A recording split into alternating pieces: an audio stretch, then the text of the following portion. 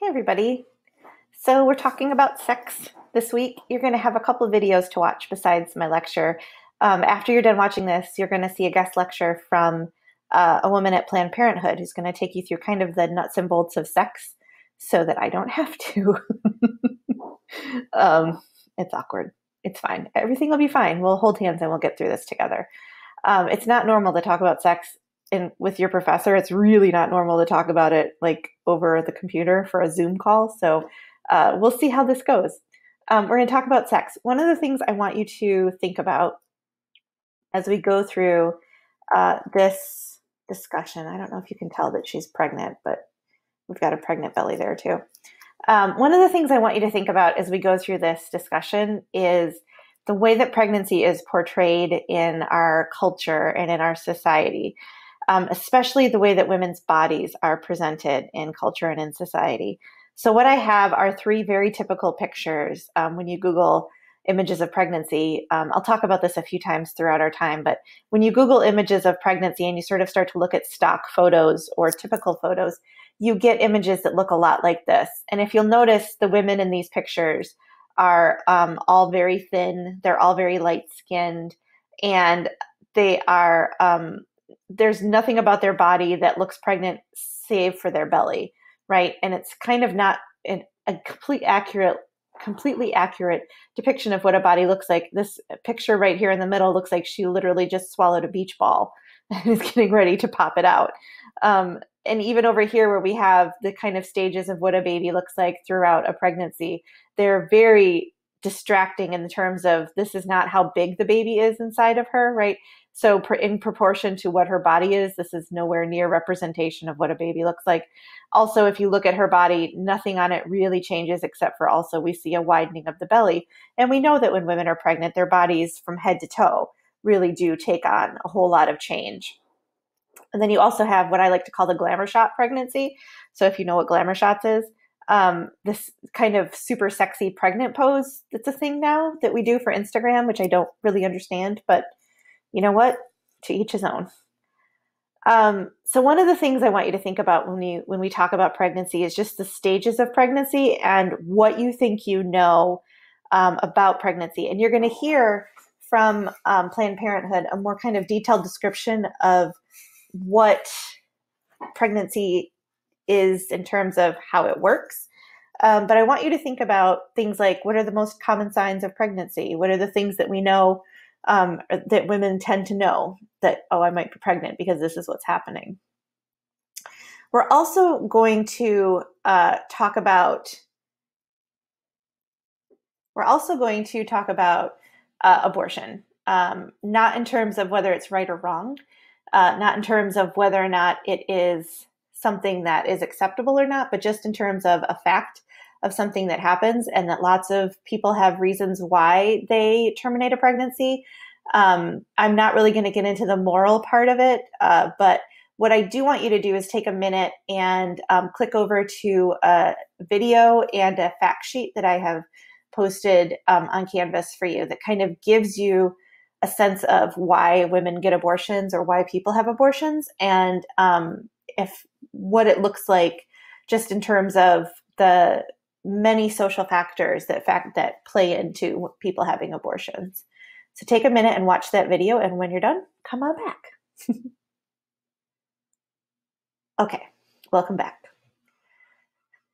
So when we're talking about sex, the first thing we're talking about are things called sexual scripts. So, sexual scripts are just basically the norms and the rules that um, guide our sexual behavior. It's how we learn what sex is, how to talk about it, what kinds of things to say, um, how not to talk about it, what is appropriate and inappropriate, um, and what to call it. All of the words that you have for sex factor into our sexual scripts.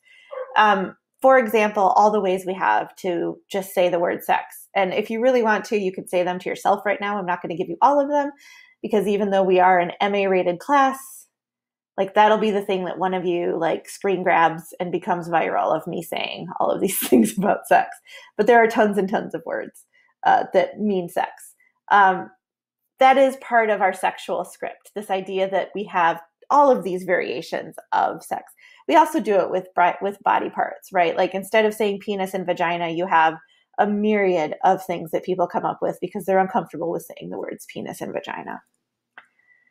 We also talk about the double standard when we talk about sex. So, this came from feminism, from feminist research, and it's the idea that men have a more permissive um, sexual script than women do, that men have been allowed to have more um, sexual behavior than women.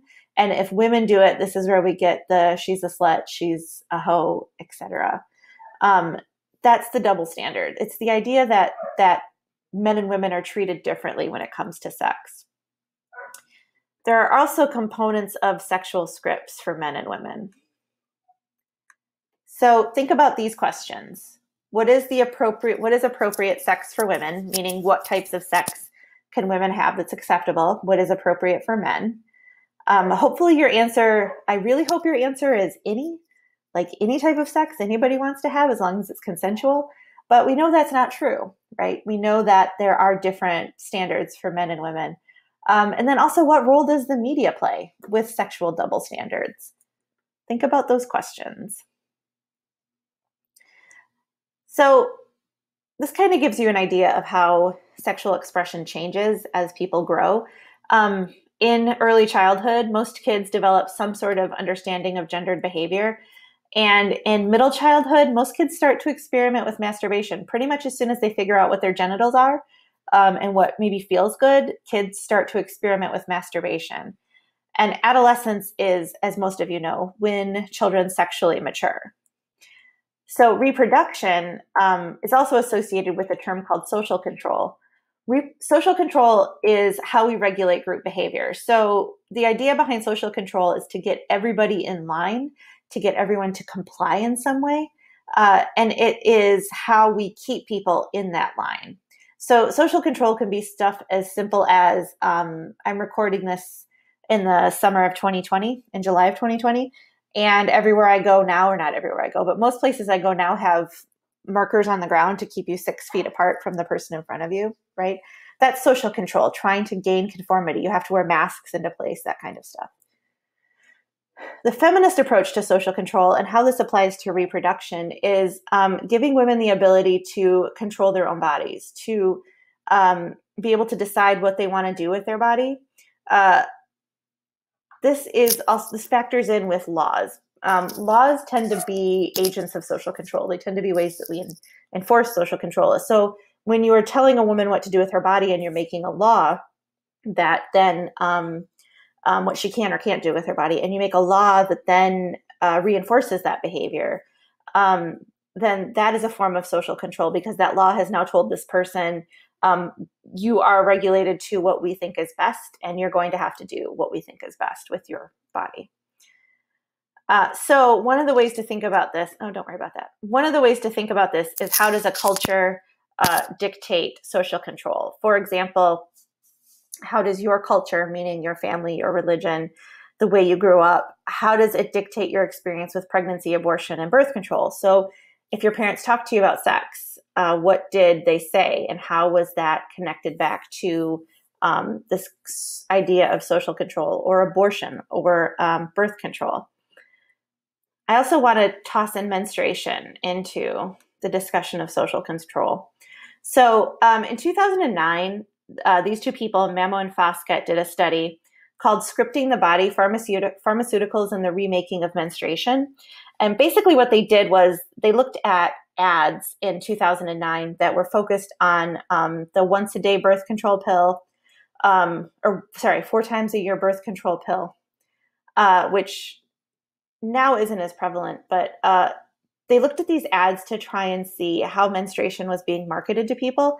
Um, and one of the things they found was that it was incredibly gendered, which of course it was being marketed toward women, um, but also that there was this feeling of freedom. So you even see it here in this ad for the NuvaRing, let freedom ring, and then live life your way. And this idea that you are now liberated from your period and you're liberated from something that your body is doing naturally.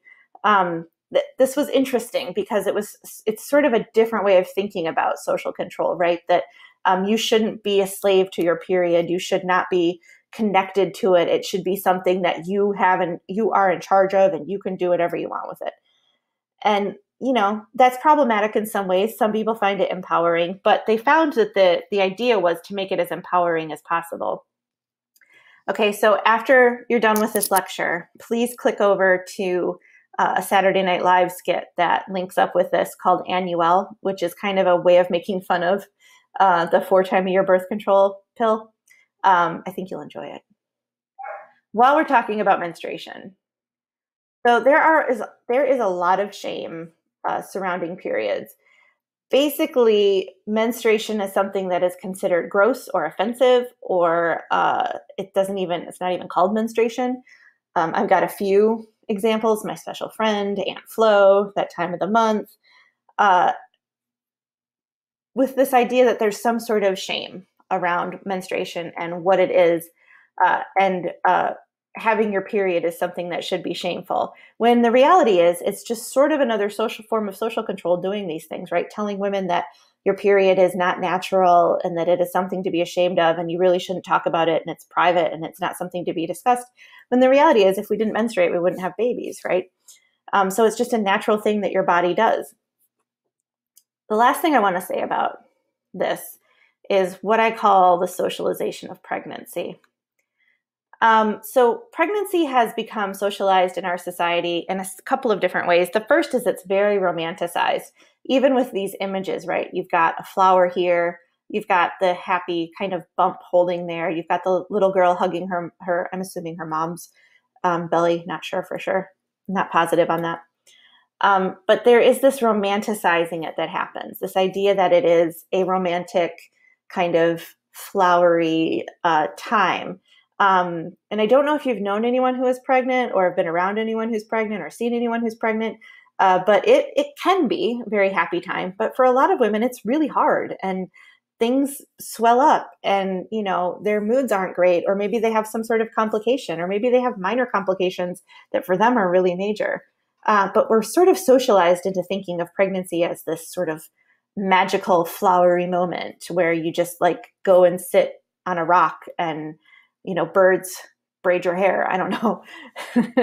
um, but with that comes a lot of shame and a lot of body shaming, especially after babies are born. So this picture went viral a few years ago. Um, this woman was a fitness trainer and she put her children up with a picture of herself, and she's got an eight month old baby down here. Um, super cute baby, by the way. And her thing was, What's your excuse? Meaning that if I can get this body with three kids under three, uh, what's your excuse? And a lot of people took issue with that. This mom um, posted a thing that said, My excuse is that I'm okay with this. So she has her infant here three years and five years.